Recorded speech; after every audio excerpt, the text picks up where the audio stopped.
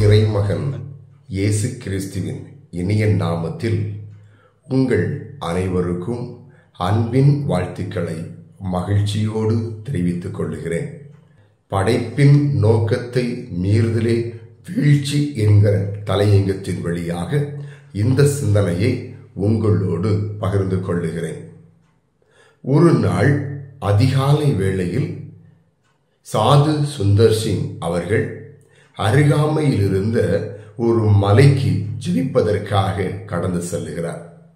அங்கே ஒரு பாறையில் முழங்கால் படியிட்டு மிகுந்த பக்தி வைராக்கியத்தோடு ஆண்டவரை நோக்கி ஜெபித்து கொண்டிருக்கின்றார். அந்த நேரத்தில் அவரை பார்ப்பதற்காக வருகை தந்த நண்பர் அவர் இருக்கிற இடத்திற்கே அவர் ஜெபிக்கிற இடத்திற்கே வந்து பார்க்க வருகிறார். தூரத்தில் நின்று கவனிக்கிறார். அவர் ஜெபித்துக் கொண்டிருக்கிற இடத்தின் அருகாமையில் சற்று தொலைவிலே ஒரு கரும் சிறுத்தை புலி ஒன்று அப்படியே படுத்திருக்கிறது. தூரத்தில் நின்று பார்த்த நண்பர் அதிர்ச்சி அடைந்து விடுகிறார். ஐயையோ இந்த கரும் சிறுத்தை புலி என்ன செய்ய போகிறதோ? என்று சொல்லி ஒளித்திருந்து மறைந்திருந்து கவனிக்கிறார். ஜபத்தை நிறைவுபடுத்தி விட்டு சாது சுந்தர் சிங் அவர்கள் மெதுவாக எழுந்து அதற்கு அருகாமையிலேயே நடந்து நண்பனை நோக்கி வருகிறார். இப்பொழுது நண்பன் மிகுந்த ஆச்சரியத்தோடு அது எப்படி?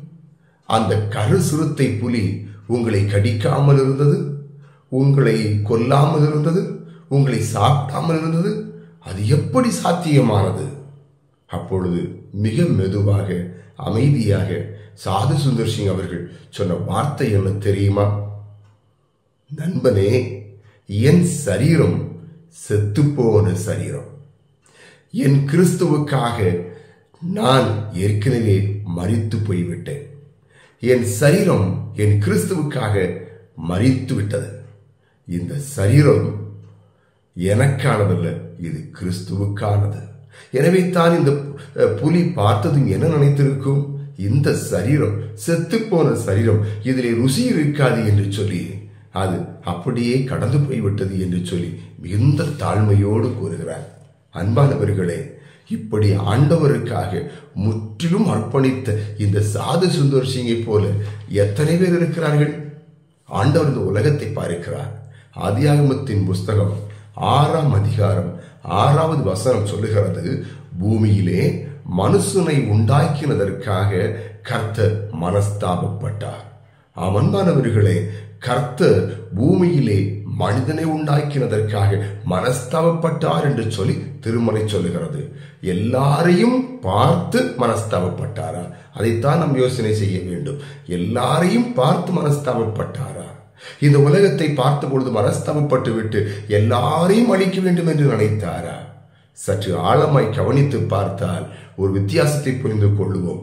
முழு மனுக்குலத்தை அல்ல ஒரு குடும்பத்தை விட்டுவிட்டு மற்ற ஜனங்கள் அத்தனை பேரையும் அழிக்க நினைத்தார் ஆண்டவர். அந்த தெய்வ மனிதர் தான் நோவா அவன்மானவர்களை படைப்பின் நோக்கத்தை விட்டு தடம் புரண்டு சென்ற பொழுது படைப்பின் நோக்கத்தில் நின்றவர்தான் நோவா. இந்த ரெண்டையும் மனதில் வைத்துக் கொள்ளுங்கள். ஒன்று ஆண்டவரால் அழிக்கப்படக்கூடிய படைப்பு. இரண்டாவது ஆண்டவரால் காப்பாற்றப்படக்கூடிய நோவா. இந்த ரெண்டுக்கும் வித்தியாசம் என்ன? இதைத்தான் நாம் புரிந்து கொள்ள வேண்டும் அன்பானவர்களே. முழு மனு குலத்தையும் ஆண்டு அழிக்க வேண்டும் என்று நினைத்த பொழுது நோவாவை நோவாவின் குடும்பத்தை மாத்திரம் தப்ப விடுகின்றார் காப்பாற்றுகிறார்.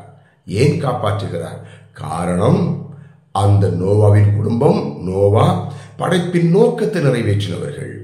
மற்றபடி மற்ற ஜனங்களையும் படைப்பையும் ஏன் ஆண்டவர் அழைக்க அழிக்கின்றார்? படைப்பின் நோக்கத்தை அவர்கள் வீழ்ந்து போனவர்கள். அப்படி என்றால் படைப்பின் நோக்கம்தான் என்ன? அதைத்தான் நோவாவின் அடிப்படையிலே மூன்று சிந்தனைகளாக நான் உங்களோடு பகிர்ந்து கொள்ள விரும்புகிறேன். ஒன்று நோவா இறைவனோடு நடந்தார். அழிந்து போன படைப்போ இறைவனோடு சஞ்சரிக்கவில்லை. இதுதான் வித்தியாசம். ஒன்று நோவா இறைவனோடு சஞ்சரித்தார். படைப்பு இறைவனோடு சஞ்சரிக்கவில்லை. ஆதியாகமத்தின் புஸ்தகம் ஆறாம் அதிகாரம் ஒன்பதாவது வசனம் சொல்லுகிறது நோவா கடவுளோடு சஞ்சரித்துக் கொண்டிருந்தார் என்று சொல்லி. அமன்மானவர்களே யாரையெல்லாம் அவர் அழிக்க தீர்மானித்தாரோ அவர்கள் ஆண்டவரோடு சஞ்சரிக்காதவர்கள். யாரை காப்பாற்ற வேண்டும் என்று நினைத்தாரோ அவர்கள் படைப்பின் நோக்கத்தை நிறைவேற்றி ஆண்டவரோடு சஞ்சரித்தவர்கள். படைப்பின் நோக்கம் என்ன?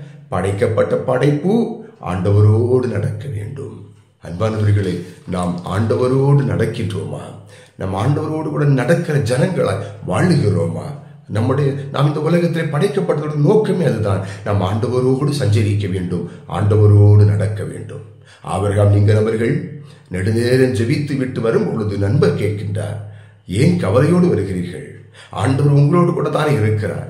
அப்பொழுது ஆபிரகாம் நீங்கள் சொல்கிறார் ஆண்டவர் என்னோடு இருக்கிறார் என்பது எனக்கு தெரியும். ஆனால் நான் ஆண்டவரோடு கூட இருக்கிறேனா என்பதுதான் எனக்கு கவலையாய் இருக்கிறது. படைக்கப்பட்ட மனுக்குலமாக நான் அன்பானவர்களே ஆண்டோட நோக்கம் என்ன தெரியுமா? படைக்கப்பட்ட நாம் ஆண்டவரோடு நடக்க வேண்டும். ஆண்டவரோடு இருக்க வேண்டும். படைக்கப்பட்ட மனுக்குலமோ ஆண்டவரை விட்டு விலகி சென்றபடியினால் அந்த படைப்பை ஆண்டவர் அழிக்க நினைத்தார். நோவாவோ ஆண்டவரோடு சஞ்சரித்தார். இரண்டாவதாக நோவா விசுவாசத்துடன் நடந்தார். படைப்போ விசுவாசத்தோடு நடக்கவில்லை. படைப்போ விசுவாசத்தோடு நடக்கவில்லை. ஆதியாகமத்தின் புஸ்தகம். ஆறாம் அதிகாரம் பதினேழாம் வசனம் சொல்லுகிறது மாம்ச சந்துகளை அழிக்க நான் பூமியின் மேல் ஜலப்பிரளயத்தை வரப்பண்ணுவேன் என்று ஆண்டவர் நோவாவோடு சொல்லுகிறார். இங்கே தான் ஒரு விஷயத்தை கவனிக்க வேண்டும். நோவாவுடைய விசுவாசம் எவ்வளவு ஆழமானது என்று. ஏனென்று சொன்னால் இதுவரையிலும் இப்படி ஒரு வெள்ளப்பெருக்கு நடந்ததாக திருமறையில் சொல்லப்படவே இல்லை. இவ்வளவு பெரிய மழை பெய்ததாக திருமறையில் சொல்லப்படவே இல்லை. நோவாவின் காலத்திலும் நோவாவுக்கு முன் முன்னும் இப்படி பெரிய மழையோ வெள்ளப்பெருக்கோ நடக்கவே இல்லை. ஆதியாகமத்தின் புஸ்தகம் இரண்டாம் அதிகாரம் ஐந்து ஆறு ஆகிய வசனங்களை கவனித்து பாருங்கள். மூடுபனி வந்து அங்கே இயற்கை செழிப்படைய செய்கிறது. இதுதான் இங்கே நடந்து கொண்டிருக்கிறது. இவ்வளவு பெரிய வெள்ளப்பெருக்கு நடந்ததாக திருமறை சொல்லவே இல்லை. அப்படி இருக்கிற பட்சத்தில் நடக்காத ஒரு விஷயத்தை இதுவரையும் கண்களால் பார்க்காத ஒரு விஷயத்தை நோவாவிடத்தில் ஆண்டவர் சொல்லுகிறார். வெள்ளப்பெருக்கு வருகிறது நீ பேழையை உருவாக்கு. கண்ணால் காணாத வெள்ளப்பெருக்கை நம்புகிறார் இந்த நோவா. அன்பானவர்களே ஆண்டவர் நோவாவை ஏன் காப்பாற்றுகிறார் என்று சொன்னால் கண்ணால் காணாத விஷயத்தையும் நோவா நம்பினபடியினால் கர்த்தர் நோவாவை காப்பாற்றுகிறார். ஆனால் படைத்த படைப்போ அப்படி அல்ல. படைத்த படைப்போ ஆண்டவரை விசுவாசியாது தடம் புரண்டு நின்றது. படைத்த ஆண்டவரை விசுவாசியாமல் உலகத்தை சார்ந்து நின்றது தீமைகளினாலும் அக்கிரமங்களினாலும் தீய சிந்தனைகளினாலும் அந்த மனுக்குலம் தலைத்ததினாலே அந்த மனுக்குலத்தை அழிக்க நினைக்கின்றார். பத்து நோயாளிகள் தொழுநோயாளிகள் ஆண்டவரிடத்தில் வருகிறார்கள். ஐயரே எங்களுக்கு இறங்கும் என்று கேட்கிறார்கள். ஆண்டவரும் சொல்லுகிறார் நீங்கள் ஆசாரியனிடத்தில் உங்களை காண்பீர்கள் என்று சொல்லப்படும் பத்து நோயாளிகளும் அந்த தொழுநோய் பிடித்த சரீரத்தோடு அந்த இடத்திலிருந்து புறப்படுகிறார்கள். இந்த தொழுநோயின் சரீரத்தை சுமந்து கொண்டு எப்படி ஆசாரத்திலே செல்ல முடியும் என்று அவர்கள் நினைத்திருந்தால் சுகம் பெற்றிருக்க முடியுமா? காணாத தாம் பெறப்போகிற சரீரத்தை நினைத்து அவர்கள் நம்பினபடியினால் அங்கே சுகத்தை பெற்றார்கள். அன்பானவர்களே படைப்பின் நோக்கம் என்ன தெரியுமா? ஆண்டவரை விசுவாசிப்பது.